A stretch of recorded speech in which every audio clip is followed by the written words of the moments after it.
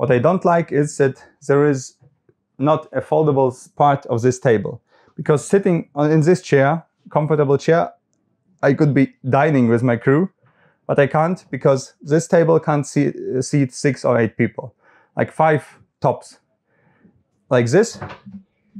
With a foldable space, you could eat from here without eating at the chat table. We don't eat at the chat table.